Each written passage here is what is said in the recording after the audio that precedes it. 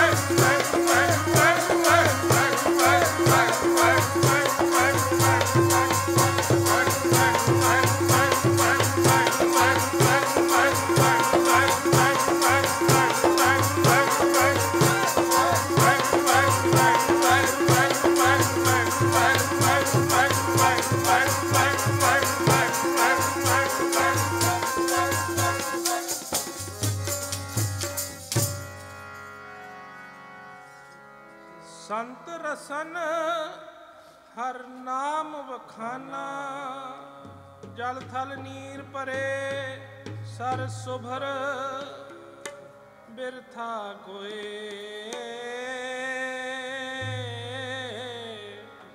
ਨਾ ਜਾਏ ਜਿਉ ਦਇਆ ਤਾਰੀ। ਤਿਨ ਸਿਰ ਜਣ ਹਾਰ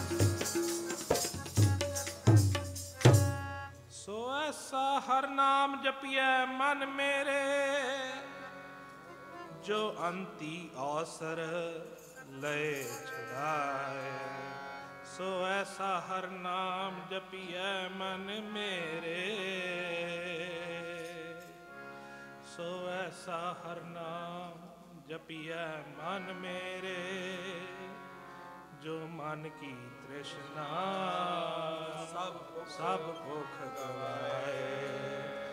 ਸੋ ਗੁਰਮੁਖ ਨਾਮ ਜਪਿਆ ਵਡ ਭਾਗੀ।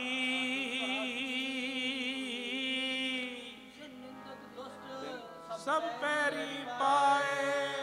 ਨਾਨਕ ਨਾਮ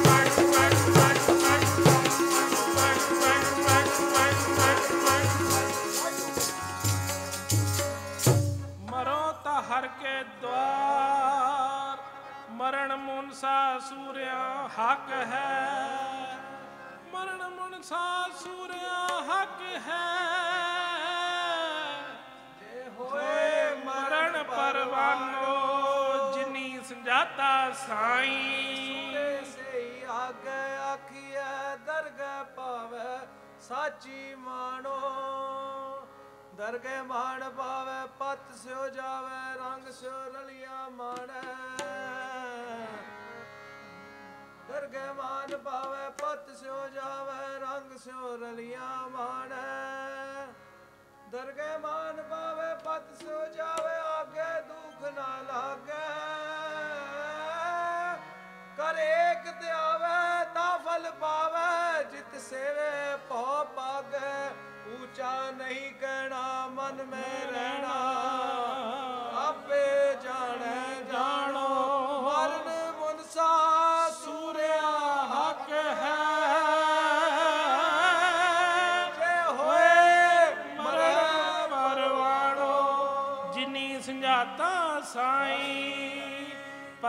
ਬਸ਼ਰ ਬੰਨਾ।